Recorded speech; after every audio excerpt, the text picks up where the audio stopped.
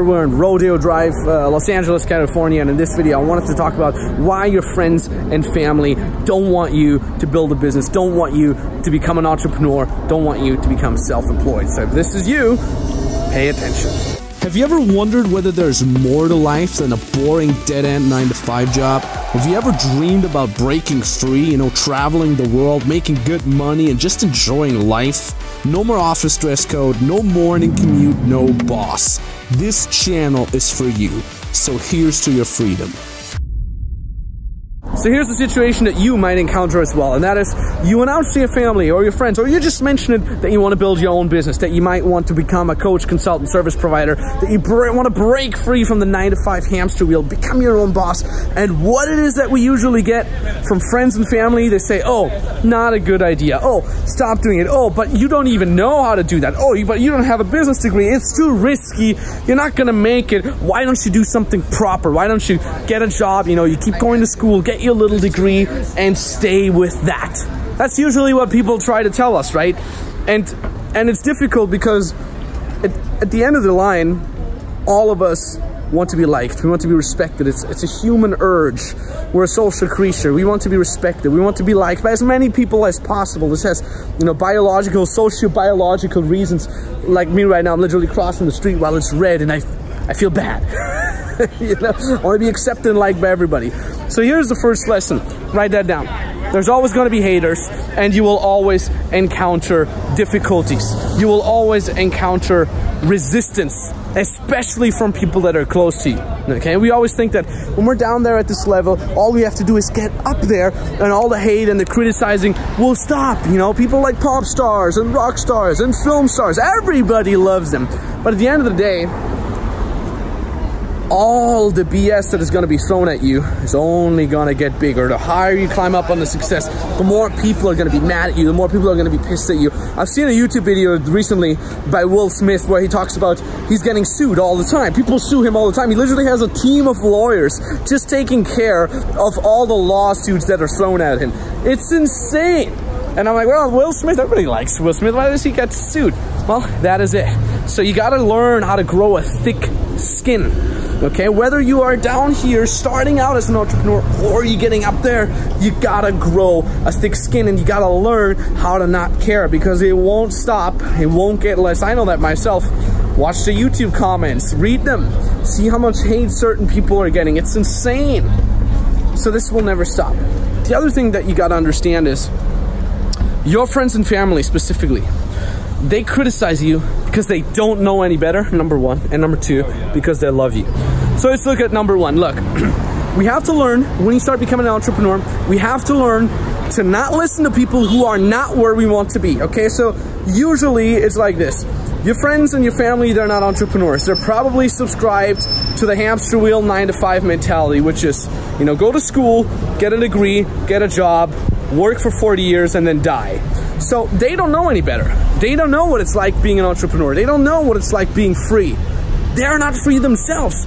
But because they're our friends and family and we value them and we, we, we love them, we tend to listen to their advice. But the problem is, their advice will get us only where they are. And if they have a job that they're not super duper happy with, then we're gonna end up being there as well. So you have to learn to not listen to people that are not where you are. Now, that does not mean, and this is the next thing I want you to write down before we get to number two, which is they're only saying this because they love you. That doesn't mean that you have to criticize them back or God beware attack them or God beware think or even communicate to them that you're better than them.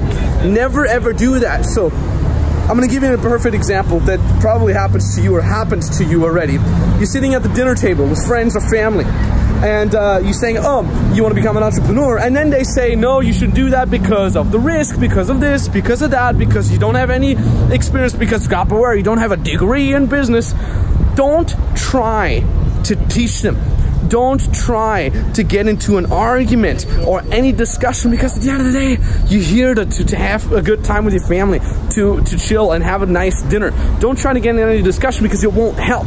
Simply what you do is do the following. You nod, you smile, you agree, and then you go ahead and do it anyway, okay? You're not here to teach your parents, your family. You're not here to do any of that. they mean well. And it will literally be a waste of your time and energy to try to convince them otherwise because it won't work, okay? If someone is not open to receive a new reality, they won't be able to accept it. Understand that, right? If they had been able to, if they had been ready to receive a new reality, they would have already done that. But they're still locked in their own paradigm and they won't change their mind as easily. So don't waste your time. Which now brings me wonderfully to point number two. They're doing it because they love you. Look, with your friends and family, there's a lot of dynamics going on when it comes to where you are, okay? You might be here on this level, which means they're also probably gonna be there. There's not gonna be this huge discrepancy between you and them. You're always gonna be at the same level. Same with your friends. Most likely, if you're not a millionaire, you're not gonna have a bunch of millionaire friends. Probably you're always around this, the roughly the same level. So what happens when you say, hey, I want to become an entrepreneur. I want to become my own boss. I want to step up, literally stepping up, you know, to the next level. What are your friends and family going to think? Are they going to be all happy that you're stepping up, that you're going to be on a different, higher paradigm, or will they be scared? It's number two. They will be scared. Number one, they will be scared because they'll think, well, if my friend is to be up on that level and I'm still to be there, will that person still be my friend? Will that person still want to hang out with me? Have a good time, right? If my son slash brother slash cousin is gonna step up, will they still want to hang out with me? Will they still come to the family dinners? If my son wants to step up, will he still respect me as his parent? So they're scared that they will literally lose you to that new paradigm. And what do people do when they get scared? They try to pull you back down, keep you from stepping up, and thus keeping you on their level.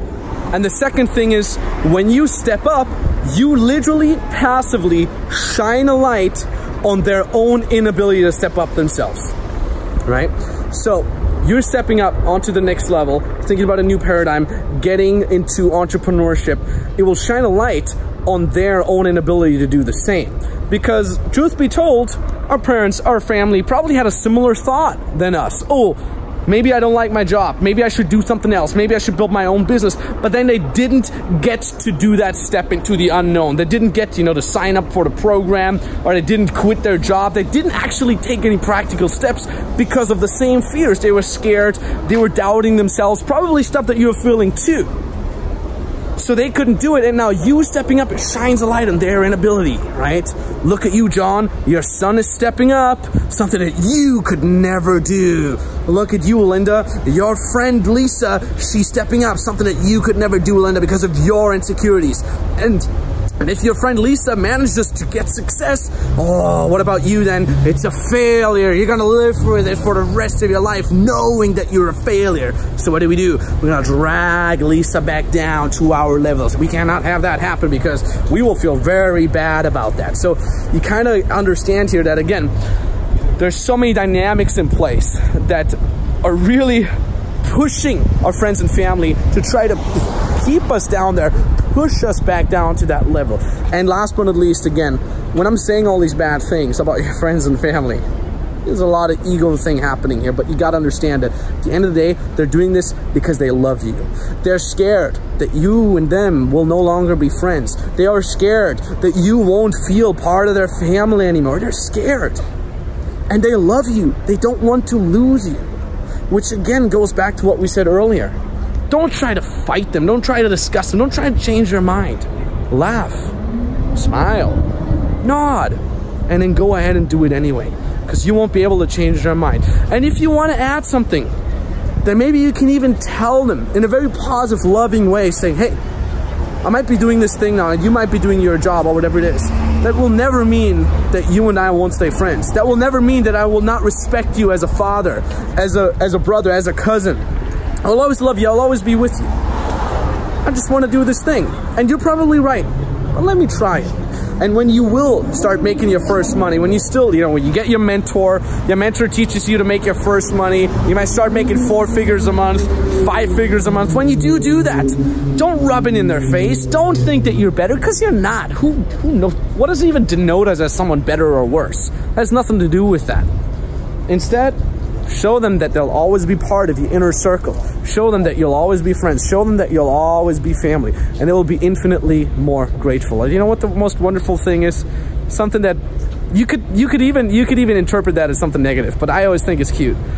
When some people who try to drag you down, who try to keep you down, will end up saying, I always knew it. I always believed in you. Nice car coming, I don't even know where it is. Nice.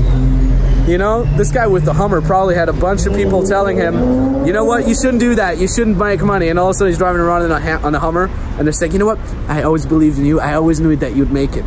I always see that as some sort of like a, as like a thank you that they, in their mind, they thought they always supported you, whereas in their mind, they were always scared of losing you and thusly they tried to drag you down. But again, remember, they're doing that because they love you and there is no need for you to teach them otherwise, to criticize them whatsoever. Okay, so to summarize, very simple. Laugh, smile, nod, agree with them, and then go ahead and do it anyway. And when they come back to you and they say, I always knew it, I always believed in you, say thank you.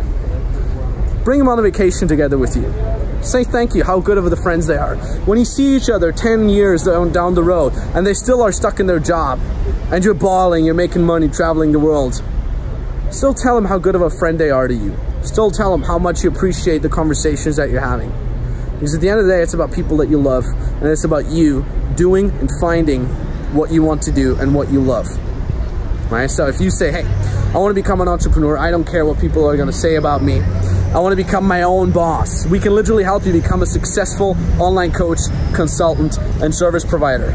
And the way to do that is you click that link down in the description below.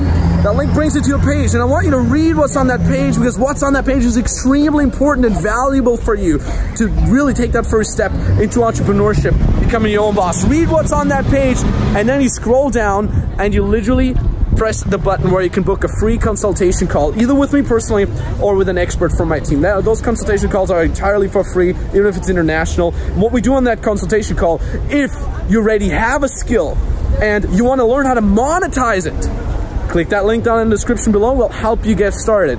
And if you're not quite sure yet what kind of skill you have that you can uh, that you can start, that you can build a coaching business upon, don't worry. You can still give us a call because we can analyze your strengths, and we can literally see, okay, this is the market, this is the situation, this is where you're good at, this is the type of coaching, consulting, service providing business that you can get into.